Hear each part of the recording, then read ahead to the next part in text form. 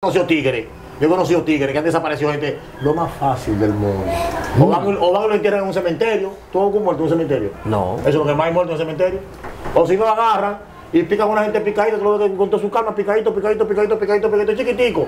Después que lo pican picadito, se montan en una yola. Imagínate, ¿de qué está lleno el río Sama? Y palo por libertad. Palo por libertad. Tú cogías tu palo, no podías hablar, no tenía, no tenía prueba, no podía nada, que soltarte. Chucho, oye, con que atracaba al Chucho con un petillo. Con un petillo. Con un petillo. Después. ¿Me entiendes? Cuando eso sonaba en la avenida ahí de madrugada y o o- en la noche, era todo el mundo que se pegaba a la por allá. ¡Comandante, no me mate! Chucho le dio como 10 puñaladas. Ahí mismito la San Ramón, ahí, ahí mismito, ahí mismito que quedó tendido San Ramón, ese tipo estaba la San Ramón ahí. Ahí mismito quedó tendido la San Ramón, ahí mismito. ¿eh? ¿Qué pasa? Que en una de esas vueltas, nosotros en, en- en uno de los colmados hallamos dos pistolas, en otros hallamos un 357, en otros hallamos una escopeta. Nosotros venimos cargados con dos motores nuevos robados y cargados de pistola.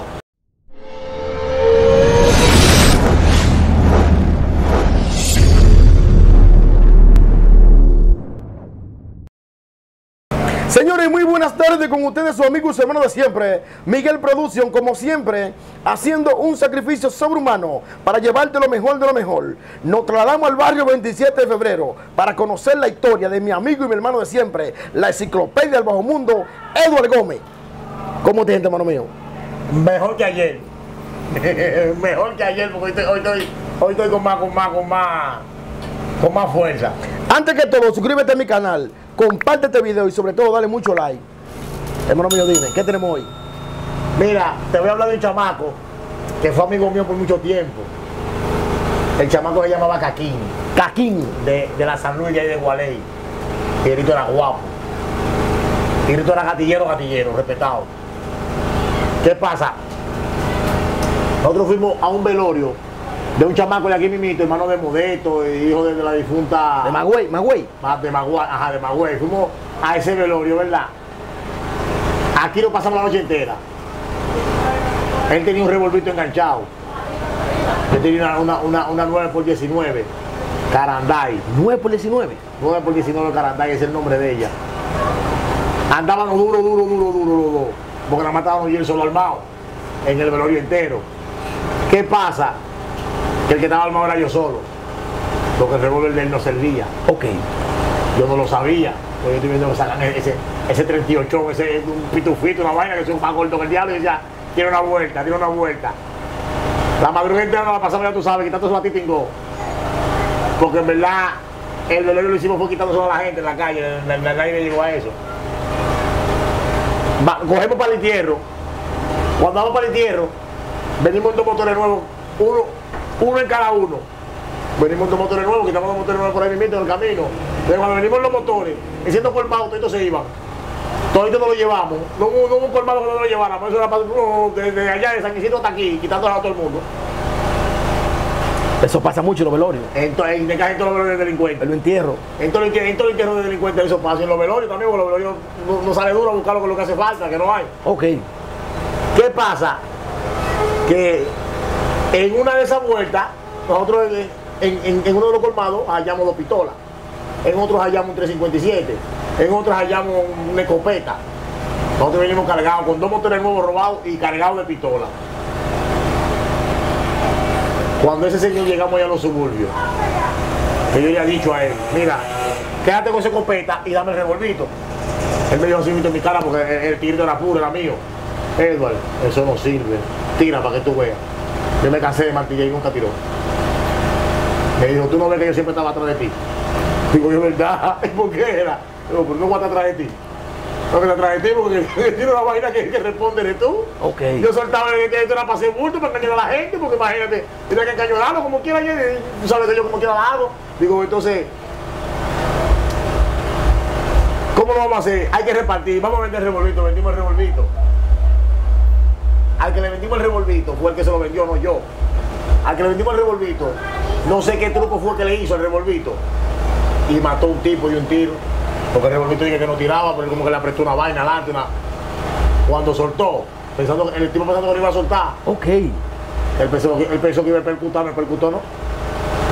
Le reventó el caco. Miércoles. El tipo, cuando le están dando golpes en, en el palacio, en homicidio, van y lo buscan a él.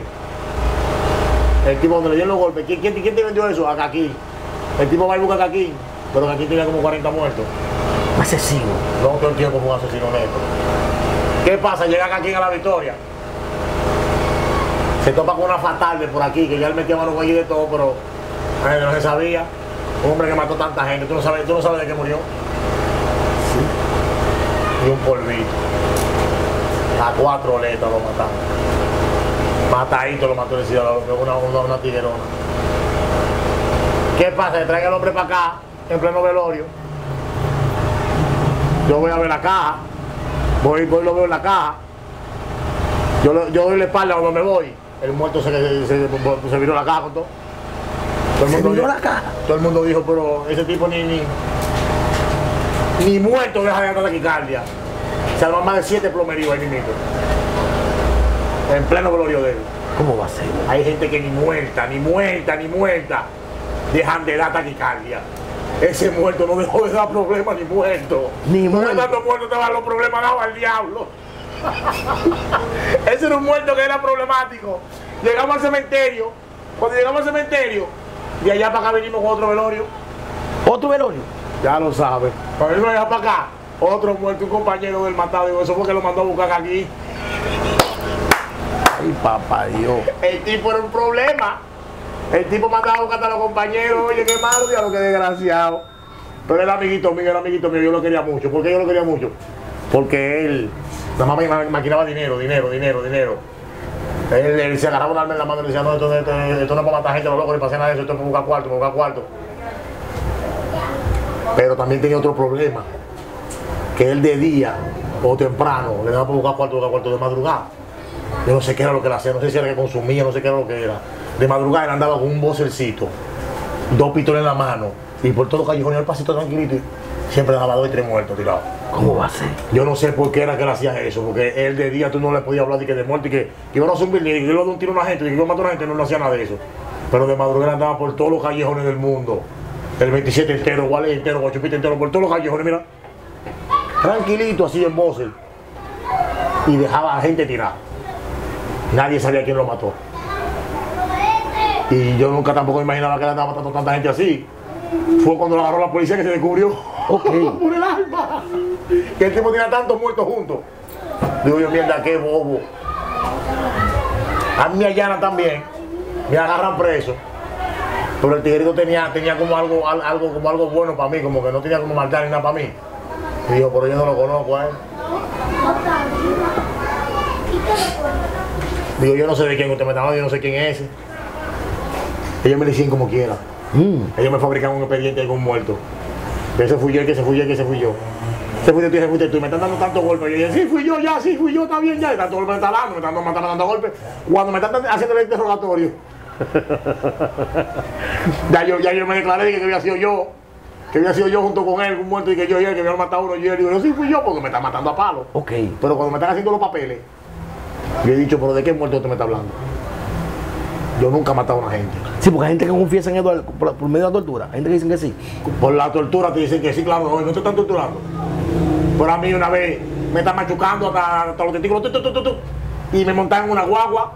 Me dijeron a mí que vamos, mira, para yo no seguirte machucando los granos, tienes que llamar de todo- de todo- todos los robos que tú has hecho, todos los televisores y toda esa vaina que tú, que tú has vendido, que tú- toda esa mierda que tú te robas, tú tienes que, ir- tienes que ir conmigo, tienes que llevarme de tal. Digo, comando, no me des más ya, chanceme, no me ponga mala mano, que vamos a buscar todo eso, venga, yo tengo el clavo de todo eso. Usted usted no se imagina para dónde yo lo llevé. ¿Para dónde? Para Plaza Lama. No, para el frente de Plaza Lama. Ahí fue que me dieron un palo. En plena guagua. Digo, pero tú no querías todos los robos míos. Están ahí, en Plaza Lama. Para allá lo llevaste. Oye, yo te voy a buscar yo robo. Pero ya te iba a buscar robo. Yo definitivamente, hay gente que compra robo, pero tú nunca lo vas a hallar, no te vive ni nada. De los que compra robo, incómodo que te invito, el pariguayo vive en estos barrios aquí adentro, que quiere estar comprando robo y dice que invito, tú lo ves durmiendo en su casa y comprando los robos, los robos le llegan ahí, no esos pariguayos caen presos de una vez. Pero el que compra robo, el que compra vaina es derecho para, otro lado que se mueve. Nunca está aquí mismito. Entonces los compradores que yo tenía siempre vivían para otro lado. Ok. Yo no sabía dónde lo iba a buscar. No sabía dónde lo iba a buscar. Tenía que coger palos obligados. Pero me convenían los palos. ¿Que te convenían los palos? Claro, porque en ese tiempo era palo por libertad. ¿Cómo así palo por libertad? Palo por libertad. Tú cogías tus palos, no podías hablar, no tenía, no, no tenía prueba, no podía nada, había que soltarte. Pero si, no te daba palo y te hablaba, dime, ¿por dónde tú ibas? Bueno, en ese mismo tren, esa gente que se entregan, que van a los medios de comunicaciones, que ellos entregan, para la policía lo recibe y, y los pedidos lo entregan, esa gente no le pone la mano y para allá, ¿qué pasa atrás, atrás de cámara? ¿Qué es lo que pasa con esa gente? Atrás de cámara, ¿qué pasa con ellos? Que ellos, ellos entran a, una, a, a un sitio que le dicen eh, eh, centro de interrogación. Ok. Entonces, eh, ni cámara ni nada. Pues, a donde, donde hay una interrogación no puede haber cámara, no puede haber teléfono, no permite llamar, no permite nada, porque es una interrogación. Está, haciendo, está bajo, bajo investigación. Cuando está bajo investigación, hay que llegar a la tortura. Porque eso también está en, en- en la ley de investigaciones. Mm. Lógico, el la tortura está en la ley de investigaciones. Tortura que no sea muy profunda, ¿tú me entiendes? O sea, tortura que no, que, que, que, que- no tenga un daño en, en- en tu... en- Por ejemplo, como el, el tipo de La Vega, el ganadero, que lo mató el amigo. Vamos a poner esa imagen ahí. Roma, Tavares, póngame esa imagen ahí. Como tú dices, las investigaciones van con mucho éxito y en su momento todavía le vamos a hacer Usted estuvo enterado, usted estuvo enterado que la familia siempre tuvo, eh, siempre confió en su trabajo, en usted. General, es cierto que la persona, la persona confesó que estaba aquí ¿es cierto, general? Ahora, General, aproximadamente cuántos días tenía este señor aquí, supuestamente. momento hablamos, papá. ¿Cuántos días? Está en un estado de putrefacción avanzada. Entonces, ¿Qué signo de violencia presenta, doctor? ¿Qué signo de violencia presenta? Todo eso se va a determinar por la autopsia. ah, pues se va a llevar línea así, ¿verdad? Sí, claro que sí. No tiene impacto ni golpe. Eso se va a determinar. Doctor, allá. no se puede determinar cuántos días tenía. que se van a seguir eh, ofreciendo, pero de acuerdo a las autoridades. Pero aproximadamente cuántos días tenía el doctor enterrado este cuerpo, Tenía a lo que usted pudo ver. Pero ahora no, no le ofrece más información. le, y le Eh, da eh, la edad más o menos de, de- de esa persona. El levantamiento del cuerpo, ¿no se vio algún golpe o algo, doctor? ¿No se vio? Hay informaciones que por ahora no voy a, a decir. Miguel, fíjate.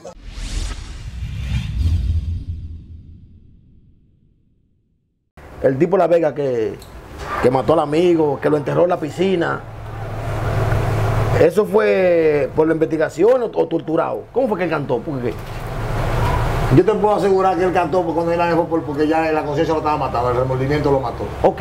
Porque fue un amigo que mató. Y cuando tú haces algo así con una persona que es tuya, llegada a ti, que no, te, tú, tú- tú tú no- tú no tienes paz, tú no tienes paz en ti mismo. Tú no tienes paz en ti mismo. Un mensaje así. que- Una, una cosa así, Eduardo. Tú no la gente puede dormir. Es incómodo que duerma. Si tiene corazón, si tiene, porque hay, ha- habemos hombres que no tenemos hiel. Entonces una piscina y que para meter a la niña de él que se No, vaya. eso, no- no, eso no es nada. Yo, yo, yo, yo, yo, yo, yo he estado comiéndome un picapollo, está picando gente, picadita, como, como descuartizando gente, yo comiéndome un picapollo, eso no es nada. Pero no, pero es hacerlo que está el problema, es ¿Hacer qué? hacer un, un acto como el que como el que él hizo. Eh, pero si él no había tenido lo, lo, lo va a pasar, no lo hace. Él lo hizo porque él tenía, él, él- él tiene ese, ese ki, esa greña, él tiene esa moña en la cabeza. Un psicópata. Pero claro, ¿y eso- esos son hechos de qué? Esos son hechos de un sicario, de un psicópata. ¿Quién hace eso? Un pariguayo mata a una gente, ¡ay! Se va a correr y sale huyendo, ¡ay, la policía! Pero un psicópata nada más que piensa de esa manera. Ok. Un sicario, un mercenario que diga, perdón, piqué aquí adentro, lo enterré aquí mimito. Porque yo he conocido tigres, yo he conocido tigres que han desaparecido gente lo más fácil del mundo. O van, o van y lo entierran en un cementerio, todo con muerto en un cementerio. No. Eso es lo que más hay muerto en el cementerio. O si no lo agarran y pican a una gente picadita, que lo ven con toda su calma, picadito, picadito, picadito, picadito, picadito, chiquitico. Después que lo pican picadito, se montan en una yola. Y imagínate, ¿de, de qué está lleno el río Sama? ¿De qué está lleno el río Sama? De bagre, que el bagre come hasta pupú. Ok. Y eso va tirando de todos pedacitos. Y tú ves todos esos bagres saltando, brincando en el aire. Él lo va tirando en el aire, van, van brincando en el aire con todos los pedacitos de gente. comiendo. ¿A dónde tú lo vas a la barriga de los bagres? Más nunca los halla. No tiene mucha ciencia. Mm. Pero ¿qué pasa? Yo te puedo soltar de que esa persona, si no fue torturado para que hablara, la conciencia lo, lo remol- le remolvió la conciencia porque supuestamente era un amigo. Un amigo de él. Pero entonces cuando él, ve, él mató al amigo, sin querer, ¿tú me entiendes? Para evitar hacer caso, lo Ahora, entierra. era un empresario el tipo. El tipo tenía su cuarto, tenía negocio. Esa investigación tiene que ser más profunda entonces. A uno poderle llegar por qué vino ese muerto. Porque eran- también se supone que como que eran amantes, no sé, se, se especula eso. Ah, puede ser también que sea una muerte. Ahí habló también la. Pasional. Vamos a poner la imagen de la mujer de la vez, que, que dio la mujer de la vez, que dijo ella. No, nosotros estamos devastados, nosotros estamos que no encontramos consuelo porque lo que él hizo aquí nadie se lo esperaba, nadie, nadie, nadie, nadie. Para él, él, él era la confianza de él, él fue la persona que después de la separación de nosotros, eh, se quedó ahí al lado de él como, como soporte, yo diría. Eh, había muchas personas más, claro, pero de alguna manera esas personas él las fue alejando del lado de él. Me imagino que por todo lo que se ha visto era algo como que él lo estaba planeando, ¿no entiendes? Porque él alejó todas las personas que cuidaban a Fausto. Fausto tenía mucha gente querida que estaba al lado de él y de esa gente ya al final tú no veías casi nadie. Aunque Fausto siempre compartía con personas, compartía siempre con personas, pero ya al final solo se veía con él para arriba y para abajo. Venía fre- frecuentemente, siempre Claro, no salía de la casa. Dormía ahí con él y todo. O sea, yo te puedo decir eso, ya yo no estaba aquí. Que es una muerte pasional. Puede ser, pero entre Sí, una sí, porque hay, mucha muerte pasional, porque mira Juancito en polvo, una muerte pasional. Fue el marido que lo mató. Fue el marido, no puede decir que el marido hablamos, fue el marido. Entonces, ¿qué pasa? Él tuvo el break de, de hacer su boquetito y enterrarlo. Pero cuando iba a ver el, el de los cojones era él, cuando iba a ver el bugarrón, cuando iba a ver un problema. cuando iba a ver que el que daba era él y estaba, y estaba- y estaba enamorado de él. O cuando iba a ver nadie ahí, quería quedarse con todo. Oye, yo tenía un panita llamado Chucho. ¿Qué pasa? Que Chucho era medio alterado, era un hombre largo y acelerado. Chucho, oye, con que atracaba a Chucho con un petillo. con un petillo. Con un petillo. Después. Cuando eso sonaba en la avenida ahí de madrugada y o o- o tarde de la noche, era todo el mundo que se pegaba a la por allá. ¡Comandante, no me mate! ¿Qué pasa? Viene Chucho. No te rías, que es verdad. Viene Chucho con un petillo y sube para arriba, para allá arriba. Y, y- y- eh, hay un pana que está metido allá en una casa vieja que, que- que está arriba de la panadería. Donde está la panadería hay una casa vieja que, que no se metía a fumar a joder. Oh, sí, sí. Hay un pana que está ahí metido. Ande pinta y hierro ahí. Ajá, me pidieron. Hay, hay un pana que está metido ahí con dos pistolas. Escondió ahí con dos pistolas. El pana le ve la bujía que tiene el chamaquito. Le dice, coño, pero este, este hombre es mío, porque tanto que yo le solté una pistola una vaina y él no hace de nada. Le soltó una vaina a él, el tipo de allá para acá, tú sabes, Chucho, con un petillo al acelerar, imagínate con una pistola. Chucho de allá para acá vino con un tro de cuartos, lle- lleno de papelito. Y lleno de teléfono, teléfono, cuarto, oro, de todo. Fue el que barrió en un lado, en el, en el payente, lo barrió en el payente. El, el- el- el tipo de, "Ey, contento con el tipo, el Chucho. El tipo cree que Chucho es pariguayo. El tipo le quitó la pistola a Chucho.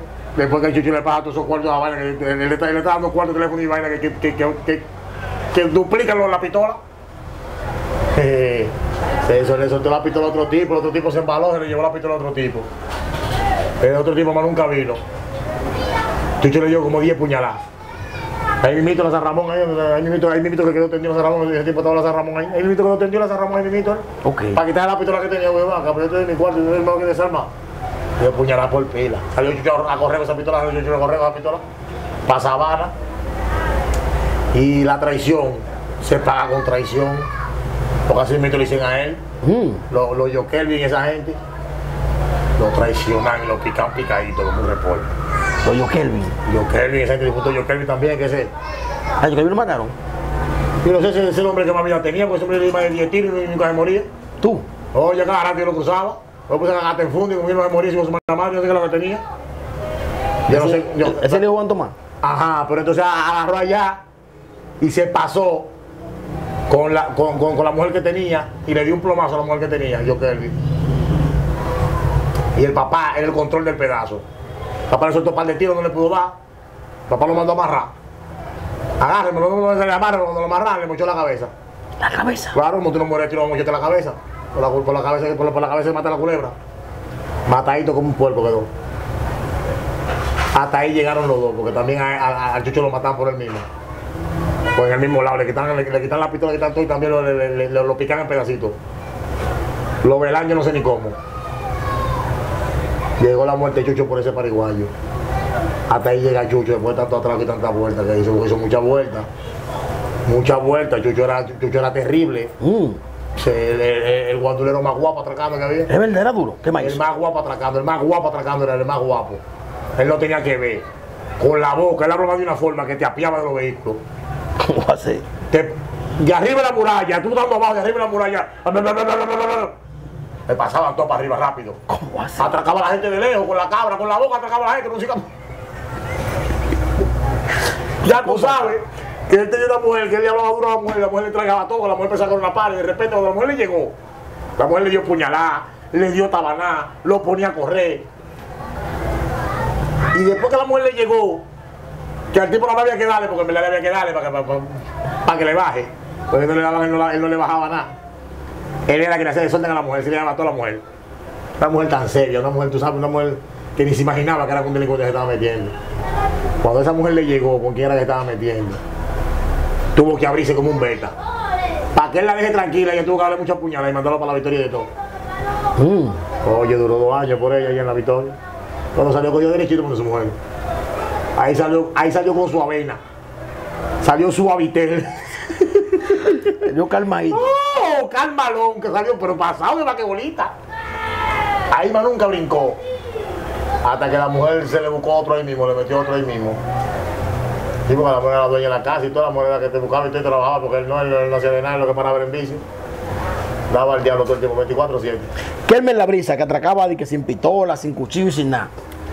Él estaba aquí en estos días, quería que lo entreviste, pero se fue rápido de Nueva York. Amigo mío, amigo mío, Kelman, amigo mío, amigo mío. Sin ¿Qué- nada, ¿Qué pasa? Que Kelman, eh, eh, eso fue un tiempo que nosotros tuvimos cinto porque él, él corrió con nosotros. Kelman también salía así mismito. En los aguaceros Kelman salía dado al diablo, porque el tipo era, era, era, un, un ogrito fuertecito. Es lo que le daba trayones a la Él gente. estaba aquí en estos días. Sí, yo lo saludé. Ok. En un motor andaba ahí. Sí, un motor eso le con- motores. con un pañuelo. Eso no le gustan esos motores. Mira, quiero que me entreviste porque andaba rápido con la rubia. Él agarraba los tigres, allá afuera, a ver trayones era. Era, era, la trompa que le atracaba a la gente, era trompa. Gente con machete se le traía encima, quitárselo. Sí. Era acelerado, era acelerado porque está vivo, pero es amigo mío, se le quiere mucho de gratis. Muchos saludos, muchos recuerdos por allá. Ojalá te vaya bien, porque me mando que sea 200, 300 dólares, dame. ¿Tú sabes, manito? Pues sí, Él es, él es seguidor de esta plataforma, él siempre comenta en tu video. él tuvo un tiempo, fue. ¿Ustedes llegan a hacer duro? ¿Ustedes llegan a hacer duro? Sí, claro, nosotros, nosotros tomamos en la avenida, él estaba yo también. Ajá. Claro, y él, el barrillo, barrillo, él se iba, yo me iba, yo normal. Pero él sin un sin nada, sin un Sin nada, ninguno de los dos sin nada. Ok. Pues con la cabra detrás de uno. Eso fue un tiempo que él tuvo. Porque en estos barrios, tiempo atrás, hubieron mucho tiempo de malaria fea, de la economía muy por el suelo, de que no tenían ni con qué respirar. Hasta el aire tienen que comprarlo. Y en verdad era así. Hubo un tiempo en estos barrios que no había nada. Que estaba todo pelado. Yo no sé qué, a qué se debía eso. Yo sé que estaba todo pelado, no había nada con nada.